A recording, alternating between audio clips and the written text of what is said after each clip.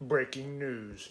All Dodge Chargers, Challengers, Chrysler 300s, Dodge Magnums, all the cars are ticking time bombs, just waiting to kill you. Okay, maybe it's not that bad, but they all do have what uh, I guess we would call a design problem um, that will affect all of them at some point if, if left to go on long enough, enough miles, enough time. And uh, can have some real world consequences, I suppose. So we're talking about, it's going to be primary fuel pump assembly, so it's going to be on the driver's side. This is the back seat. No, there's the back seat. If you remove the back seat, fuel tank is under there. Got your primary fuel pump assembly right here. Other side is the, the auxiliary. This is the one that actually gets the 12 volts and uh, has the, the pump module down inside its basket. And it, it does all the work, makes all the noise.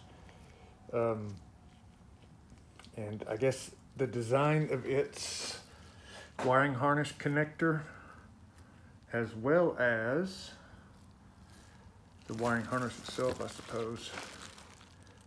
It's, it's not, why is this doing it? It's not good, right? So you can see up in there, uh, see how it's burned, you know, it's heated to the point of, of the plastic failing, melting basically. Um, so that's going to be the fuel hatch from this, this, this one's actually out of uh, my other charger. It's a 2014. This car we're looking at is 2012.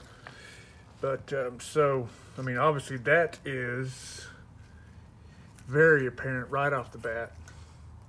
You know, if you were to pop that cover, you, that would be easy to spot. This one in here, you don't see anything like that, you know, visually striking. But if you were to look down in there, yeah, see if I can, you can see it. Yeah, I'll get the light. Um, yeah, that one's starting to do the same thing. It's it's that plastic is overheating, melting to the point of, uh, you know, same thing's to happen to it. Which for the 2014, this problem manifested itself in uh, an extreme fuel odor inside the car and actually had gasoline pooling on top of this uh, little hat here. Uh, tried everything, changed the seals, and but what it turned out to be is you can't really see it. what it turned out to be this plastic uh, overheated and melted enough. Yeah, you can't really see it. Uh, you know, got weak to the point that it cracked, basically. Uh, there's tiny little crack through there, running through the underside. So when the when the um, PCM initiated the uh, evap test and put the gas tank under pressure, that crack was weak enough to allow fuel vapors to vent. System detected it through a P0456 DTC. Uh, you know, uh, evap system leak. I think even labeled it small, whatever. Anyway, it'll you know, it'll fail you on state inspection. Uh, so the fix ultimately was bought a whole nother fuel pump, but didn't need the whole fuel pump. It just needed a non-cracked hat. So that's what I did on that 2014. On this 2012, the symptoms are different. Um, no codes, no fuel smell or anything, so I guess it hasn't cracked. uh, hadn't weakened to the point of cracking, but uh, so twice now, jumped in the car, fired it up, and immediately stalled on me, and I could tell right off the bat. Uh, you know, basically starved of fuel. It ran for just a half a second and then just slowly died. Wouldn't start back up. And then if you power up the ignition without foot on the brake, you know, you should hear the fuel pump and energize. Those two times that it did that, I didn't hear the fuel pump energize. My initial thought was obviously fuel pump died or fuse blown. Checked fuses and the relays, they were good. Checked and power was making it to the wiring harness plug. But uh, what I only really learned the second time that it did it, and I did some more troubleshooting. See, not only the fuel pump hat melted, the heat is melting it and causing issues. This wiring harness plug on this 2012, uh, there was, so when I unplugged it, there was a tiny chunk of plastic that had just kind of become lodged in there in that last pinhole and I guess was uh, obstructing. You can kind of see their oblong or um, misshapen there.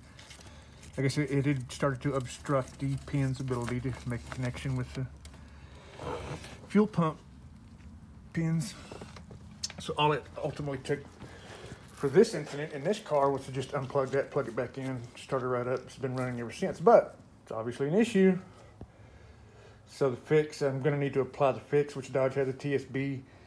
Uh, you can, or you can just buy a newer pump um, that comes with a new style. They've redesigned the plug, and the pump will come with a pigtail.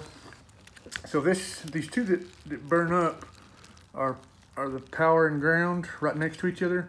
The new style, it has you know power, and then uh, one of the fuel level sending wires from over here. They just repositioned them so it's power, not ground, you know, and then skip over one. There's the ground, so it spreads them apart.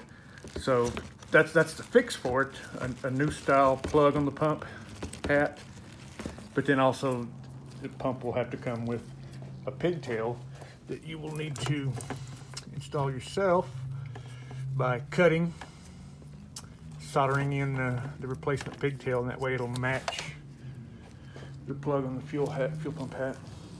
I'm going to have to do that very soon, or else I'm going to get stranded. It would appear so. Anyway, that's uh, beware. It can happen to you too.